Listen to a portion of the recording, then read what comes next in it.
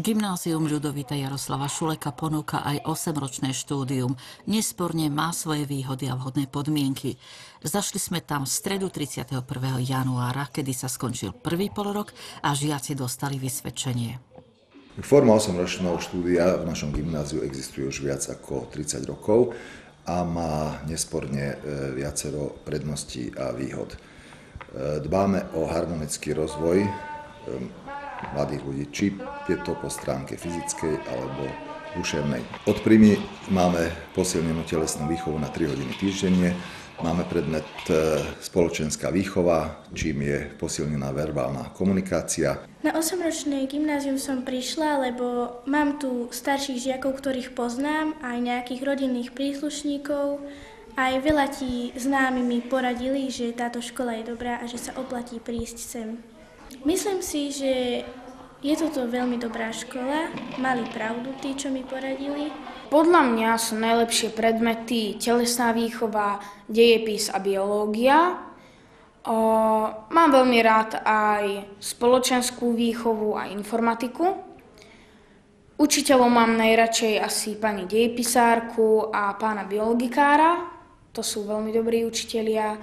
A ešte pani učiteľku z hudobnej, a veľmi rád píšem písomky, to mám asi najradšej z celej školy, lebo mám pri tom taký dobrý pocit.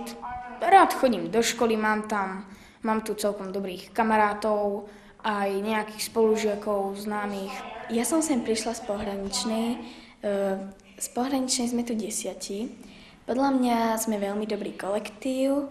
Naša triedna pani učiteľka sa volá Eva Dioriová Baková, je veľmi milá, Spolu dohromady nás je 17 a vychádzame spolu každý. Cítim sa tu veľmi dobre, máme tu dobrý kolektív a po gymnáziu by som chcela vyštudovať Vysokú umeleckú školu. Ja som z Zemiacké Olče, dochádzam do Komára na gymnáziu Ľubojka Šuleka. Je to dlhá cesta, ale stojí to za to.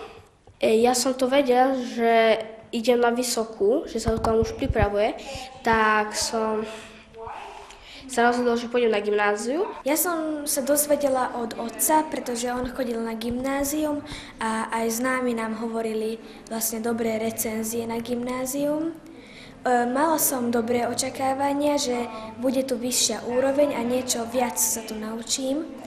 Um, prišla som sem s takými malými obavami, pretože bude nové prostredie.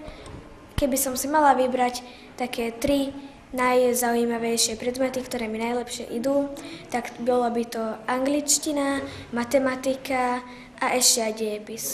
Do školy sa pripravujem menej doma ako v škole, lebo v škole počúvam na hodinách, dávam pozor a potom sa musí menej učiť doma, takže mám viac voľného času, ale keď je nejaký že veľký test, tak sa naň učím, lebo chcem mať tie dobré známky.